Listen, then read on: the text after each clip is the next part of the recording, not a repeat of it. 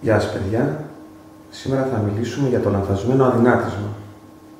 Λανθασμένο γιατί; Γιατί όταν κάποιος χάνει απότομα κιλά, χωρίς να κάνει βάρη, κάνοντας μόνο αερόβια άσκηση ή να μην κάνοντας καμία άλλη φυσική δραστηριότητα, το σώμα έχει μια χαλάρωση. Σαν χλαπάτσα, ζελέ. Επίσης αυτό μπορεί να προέρθει και από λάθος τροφές σε δίαιτα. Και θέλω να μιλήσω αναλυτικά γι' αυτό. Ε, όταν ε, μια κοπέλα, για παράδειγμα, πηγαίνει σε διατροφολόγο και η διατροφολόγος της λέει ότι θα φας χίλιες θερμίδες την ημέρα.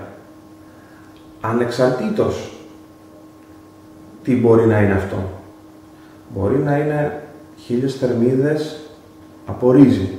Μπορεί να είναι χίλιες θερμίδες από πατάτα. Μπορεί να είναι και από σοκολάτα. Δεν αναφέρει. Απλά της λέει ότι να είναι χίλιες θερμίδες. Αυτό είναι λάθος. Γιατί τρώγοντας όλη μέρα σοκολάτα, δεν παίρνει από τις τροφές που έχουν μέταλλα, ιχνοστοιχεία, βιταμίνες, δεν τα παίρνει από πουθενά. Ούτε λαχανικά, ούτε τίποτα. Όμως πολλοί θεωρούν ότι αυτή η δίαιτα είναι σωστή, είναι καλή, για το λόγο και μόνο επειδή βλέπουν το ικανοποιητικό νούμερο στη ζυγαριά. Όμως, αλλιώς μπορεί να ζυγίζεις 70 κιλά και αλλιώς πάλι να είσαι 70 κιλά και να δείχνεις διαφορετικά. Γιατί ό,τι τρως, αυτό είσαι. Άμα τρως ζελεδάκια, θα είσαι σαν ε, χλαπάτσα. Το κύτταρο αποτελείται από πρωτεΐνη. Για να λειτουργεί σωστά, να παράγει κολαγόνο, ελαστίνη, που είναι για την ποιότητα του δέρματος, πρέπει να τρέφεται με ανάλογη τροφή. Πρέπει να παίρνει πρωτεΐνη, είτε ζωική είτε φυτική και να τρώτε υδατάνθρακες καλής πηγής, όπως είναι το ρύζι, η πατάτα, η βρώμη, μακαρόνια ολικής, όχι ζαμπονοτυρόπιτα και μπουγάτσα. Από πού θα πάρετε θρεπτικά στοιχεία, δηλαδή τι βιταμίνες παίρνετε με την μπουγάτσα εκτός από τη ζάχαρη που έχει; Τι μέταλλα παίρνετε από εκεί; Εντάξει, οκ.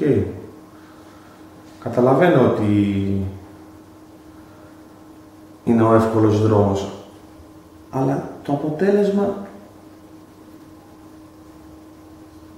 δηλαδή για να δείξει ζυγαριά σε μια κοπέλα που θέλει να ζήσει 55 κιλά, μόνο και μόνο να βλέπει αυτό το αριθμό είναι ευχαριστημένη; Και αν τα πόδια της είναι από τη γάμπα μέχρι το γλουτό μες στην κυταρίτιδα και μπορεί να ζυγίζει 60 κιλά και να έχει καλύτερη εικόνα οπτικά στο καθρέφτη, κάνοντας βάρη με αντίσταση και όχι με δίκυλα, αντιστάσεις κανονικές με βάρη, δεν υπάρχει λόγος η γυναίκα να φοβάται να κάνει βάρη. Δεν θα γίνει σαν άντρας. Ό,τι και να κάνει δεν γίνεται αυτό. Αν δεν παίρνει ανδρογόνα.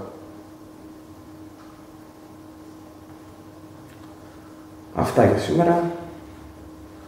Ελπίζω να λάβετε υπόψη κάποια πράγματα από αυτά που είπα. Να είστε καλά. Καλές προπονήσεις. Καλό φαγητό. Καλή συνέχεια.